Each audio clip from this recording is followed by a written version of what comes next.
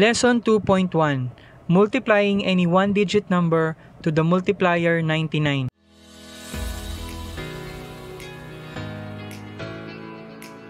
Unang halimbawa, 9 multiplied by 99 equals 891.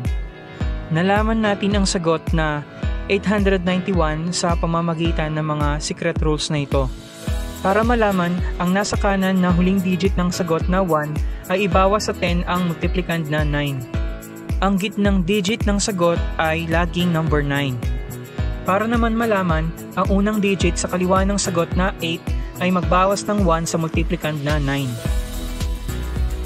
Ang dapat nating tandaan kapag nagmumultiply ng kahit anong 1-digit number sa multiplier na 99, ang sagot ay 3-digit number. Ikalawang halimbawa, 8 multiplied by 99 equals 792. Yung 2 na huling digit sa kanan ng sagot ay galing sa pagbawas sa 10 ng multiplicand na 8. Yung gitnang digit ng sagot ay laging number 9. Yung 7 na unang digit sa kaliwa ng sagot ay galing sa pagbawas ng 1 sa multiplicand na 8. Ikatlong halimbawa, 7 multiplied by 99 equals 693.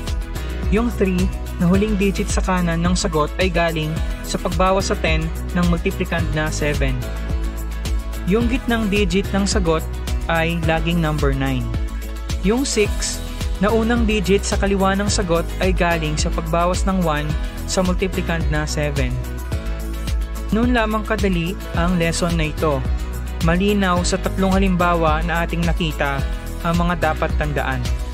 Una, ang sagot kapag nagmumultiply ng kahit anong 1-digit number sa multiplier na 99 ay 3-digit number.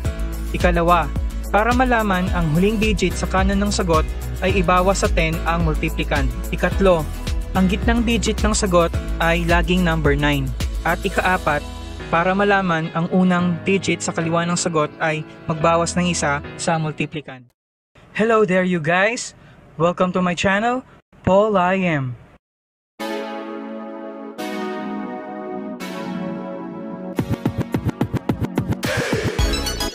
Thank you for watching this lesson guys. Please don't forget to subscribe.